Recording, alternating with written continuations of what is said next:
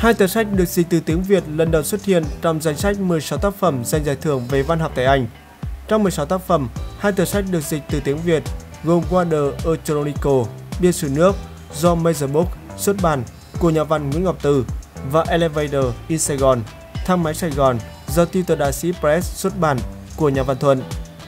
Hai bản dịch đều do dịch giả Nguyễn An Lý chuyển ngữ.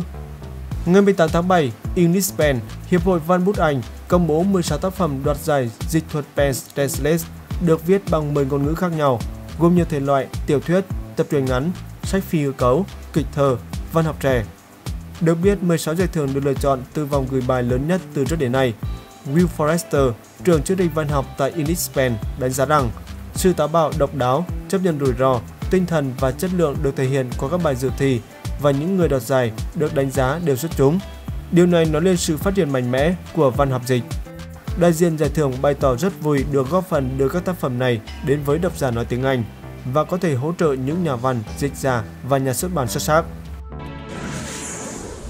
Để có thể giành quyền tự quyết đi tiếp vào bán kết giải U19 Đông Nam Á đang diễn ra tại Indonesia, U19 Việt Nam phải thắng Australia trong trận đấu thuộc lượt trận thứ hai tại bảng B vào 15 giờ chiều ngày 21 tháng 7. Đây là nhiệm vụ không hề dễ dàng bởi Australia luôn được đánh giá cao hơn so với các đội tuyển cùng lứa ở khu vực Đông Nam Á. Trận ra quân, họ dễ dàng vượt qua U19 Lào với tỷ số đậm 6-0. Tuy vậy, bóng đá luôn chứa đựng bất ngờ, nhưng để biến điều đó thành hiện thực, U19 Việt Nam cần phải chơi tập trung, chơi với hơn 100% sức lực và thật sự hiệu quả trong cả phòng ngự lẫn tấn công.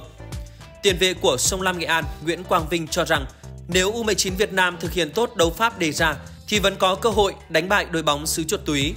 Nếu thực hiện tốt đấu pháp đề ra, U19 hoàn toàn có thể giành chiến thắng.